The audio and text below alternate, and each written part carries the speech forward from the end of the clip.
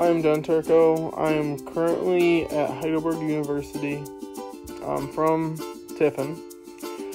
Um, I've visited Ohio Northern, Marietta, Bluffton, Heidelberg, Findlay. Um, I think that's all the schools I visited. When I was on my visit for Heidelberg, it was a hard decision for me to choose where I wanted to go to college because I also wanted to go away from home, but I also wanted to stay close to my family. But I also want to play football as well and get a good education as well while I'm doing that. So it was a very hard decision, but I obviously ended up choosing Heidelberg. When I visited Heidelberg, I fell in love with the uh, campus. It was so beautiful. I loved the people that when I was touring with them, the coaches and the players I talked to were so nice. They greeted with me open arms. There was a great environment here. That's what made me love and made me choose to come to Heidelberg. I am super happy that I came to Heidelberg. I made I've made so many friends. I love being on the team. I'm getting a great education. It I made so many friends that I'll have a be friends with for a lifetime. Be with roommates, friends just meeting on for the football team, or just meeting friends out and about through classes. It's it's great. I, I love being here. I'm Alec Hoover. I graduated from Universal Technical Institute about a year and a half ago.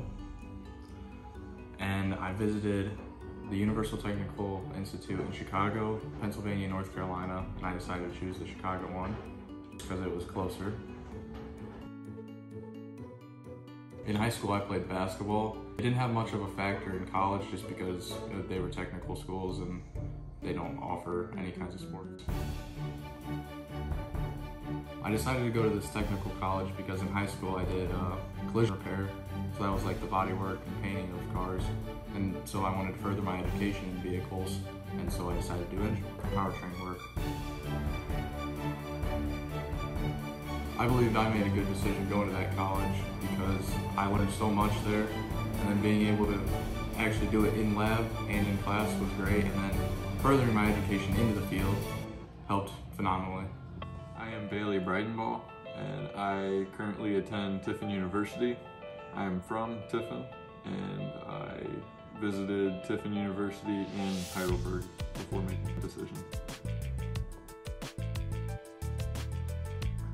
Played baseball in high school and I ran cross country.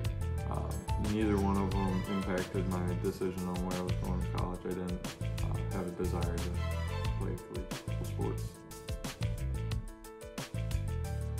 Uh, when I was deciding between Tiffin and Heidelberg, it uh, pretty much came down to the finances.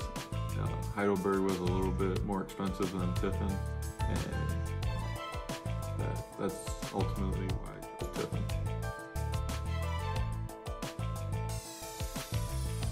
confident in my decision that I made with going with Tiffin University.